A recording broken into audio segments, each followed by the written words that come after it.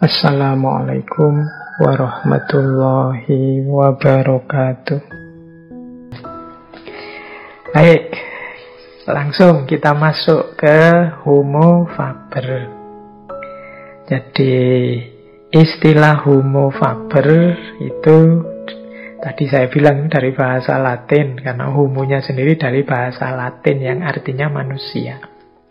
Faber itu artinya menghasilkan sesuatu, menciptakan sesuatu, membuat sesuatu.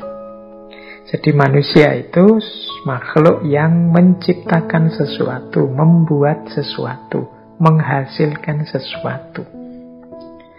Makanya homo faber ini sering mudahnya kemudian diterjemahkan manusia itu makhluk yang bekerja. Ya karena untuk menciptakan sesuatu itu kan harus ada kerja yang dilakukan. Untuk menghasilkan sesuatu itu harus ada yang dilakukan. Jadi makna pertama dari homo faber itu adalah manusia sebagai yang bekerja. Jadi yang menunjukkan bagian dari man the maker untuk manusia menghasilkan sesuatu. Berarti apa yo? Kerja itu berarti sifatnya esensial dalam diri kita. Dia hakiki bagian dari kodrat kita. Makanya manusia itu kalau ndak ngapa-ngapain sama sekali ndak enak. Jadi ndak nyaman. Boleh teman-teman merasakan sendiri. Apa ada manusia yang bisa tidak ngapa-ngapain? Pasti dia ngapa-ngapain. Yo, Pak tapi kan saya punya teman pengangguran Pak, tidak bekerja. Ya pengangguran dalam arti profesi yang dikenal atau mungkin kerjanya tidak menghasilkan uang atau dia tidak jadi pekerja di mana. Tapi kan tidak mungkin ada orang itu tidak punya kesibukan sama sekali.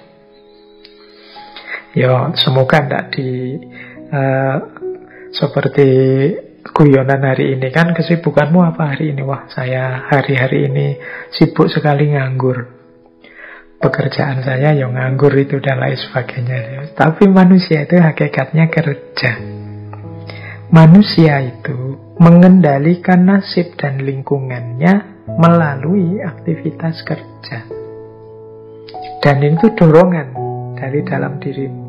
Jadi yang homo-homo itu tadi kan maksudnya fitrahnya manusia, kodratnya manusia.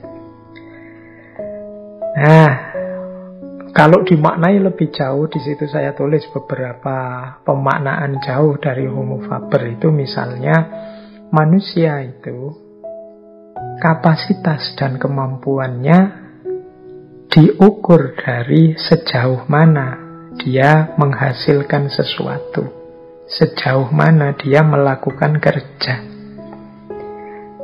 Jadi saya itu apa sih yang saya bisa, apa sih yang saya mampu, kapasitasku berapa atau seperti apa sih, itu biasanya dilihat aku bisa menghasilkan apa. Apa yang bisa aku lakukan yang membuahkan sesuatu. Nah, ini bagian dari homo faber. Makanya orang yang tidak bisa apa-apa itu kan rasanya agak minder gimana gitu. Wah saya itu rasanya kok tidak bisa apa-apa. Pak. Itu kan teman-teman rasanya minder. Itu karena bagian dari dorongan makna diri kita sebagai makhluk yang bekerja atau menghasilkan sesuatu. Bahkan lebih jauh manusia itu mampu mengenali dirinya dari apa yang mereka kerjakan. Jadi kalau kita ingin memahami siapa kita, ya yang kita lakukan kan merenungi diri kita. Kalau teman-teman cermat, sebenarnya merenungi diriku itu yang direnungi apa sih? Sebagian besar bahan atau materi renungan itu adalah apa yang kita kerjakan, apa yang kita lakukan. Kalau teman-teman bertanya pada diri sendiri siapa sih aku itu? Itu kan teman-teman membaca apa yang aku lakukan selama ini. Jadi kita itu mengenali diri kita dari apa yang sebelumnya kita kerjakan. Aku kok orangnya gerusa-gerusu ya? Aku kok orangnya lambat ya? Aku kok orangnya tidak sabaran ya, aku kok orangnya... Ini kan kualitas-kualitas dari kerja, aktivitas sehari-hari yang kita lakukan. Jadi itu antara lain makna dari homo faber. Nah, selanjutnya manusia juga secara umum menilai hidup ini dari apa yang mereka kerjakan. Jadi nilai-nilai kemanusiaan itu banyak dikaitkan dengan apa yang dikerjakan oleh manusia. Jadi baik, buruk, benar, salah. Kalau dalam agama itu ada halal, ada haram. Itu kan semuanya bersentuhan dengan hidup, e, cara manusia menjalankan hidupnya beraktivitas. Jadi nilai itu kita rumuskan dari situ. Oh itu orangnya rajin. Oh itu orangnya males. Oh kalau yang seperti itu tidak boleh itu merusak. Oh kalau yang begini bagus ini sesuatu yang uh, misalnya menginspirasi. Oh ini, nah itu sebenarnya semuanya berhubungan dengan kerja. Nah itu makna homo faber. Bisa pula dimaknai manusia itu dia dipandang tidak bernilai dalam tanda petik ya. Ketika dia tidak mampu mengerjakan sesuatu atau tidak mampu menghasilkan sesuatu seperti yang diinginkan.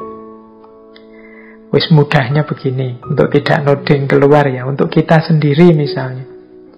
Kita misalnya mahasiswa ujian. Kok ya ujian kita tidak bisa nggarap, tidak bisa mengerjakan tugas dari dosen. Wah, saya tidak mampu ini. Itu kan kita merasa kecewa dengan diri kita. Karena tidak mampu melakukan kerja tadi. Saya tidak punya arti lagi. Kita terus memandang rendah diri kita kayak kemarin-kemarin di identitas kemarin banyak kita jelaskan. Nah, ini kan menunjukkan betapa memang manusia itu homo faber. Kalau dia merasa tidak mampu melakukan kerja, dia menganggap dirinya tidak berarti. Nah, lebih jauh bahkan ternyata perubahan-perubahan yang terjadi dalam diri kita itu juga hasil dari kerja. Jadi kita ini diri kita seperti apa konstruksinya hari ini itu adalah buah dari kerja yang kita lakukan. Berpikir merenung itu penting, tapi jauh lebih berpengaruh kerja yang kita lakukan, tindakan yang kita lakukan. Kita berpikir tentang, wah ini baik, itu baik. Menurut saya membantu orang lain itu utama. Menurut saya gotong royong itu bagus. Menurut saya uh, hidup tertib itu bagus. Itu kalau cuma dalam pikiran. Dia tidak membawa pengaruh besar untuk hidup kita. Tapi pengaruh besar itu tampak ketika kita mewujudkannya dalam kerja, dalam tindakan yang sifatnya aktual sehingga melahirkan sesuatu. Jadi kerja itu selain mungkin melahirkan tujuan dari kerja itu sendiri, nantinya efek kerja itu juga membentuk diri kita sebagai pribadi. Nah, nanti ada banyak uraian tentang itu di belakang. Bahkan, ya kalau diuraikan lagi lebih jauh, dunia ini, alam semesta ini berkembang itu juga karena hasil karya, hasil kerjanya manusia. Jadi kalau kita sering mendengar istilah hidup ini kan berkembang, Hidup ini kan dinamis. Itu sebagian besar perkembangan dinamika itu buah dari kerja dan karya manusia. Jadi ini salah satu anugerah Allah yang luar biasa pada manusia selain animal rasional atau homo sapien atau berpikir tadi itu juga termasuk kerja. Jadi di antara penciri khususnya manusia ya di aspek kerja ini. Baik, itulah makna-makna dari homo faber. Jadi kalau ada yang tanya, Pak, kok yang diangkat malah tema kerja sih Pak untuk memahami hakikat diri?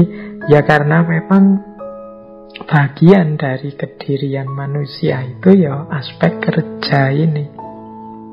Meskipun saya tahu di pikiran teman-teman kalau saya ngomong kerja itu mesti yang terbayang kerja apa saya besok profesiku apa saya harus melamar kerja ke mana kan hanya itu makanya sering orang kemudian merasa tidak nyaman ketika membahas kerja ini karena diasumsikan kerja itu mesti nanti menyinggung diriku yang masih nganggur atau yang masih gamang dengan kerjaku di masa depan, profesiku di masa depan.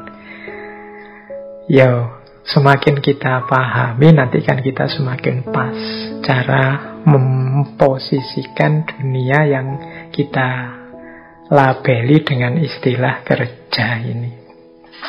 Jadi tidak masalah ya teman-teman Justru kegelisahan atau ketidaknyamanan ketika membahas tema kerja ini Menunjukkan betapa memang ada semacam dorongan kodrati dalam diri kita setiap manusia untuk menghidupkan unsur kerja sebagai bagian dari tugas dan amanat kita di muka bumi.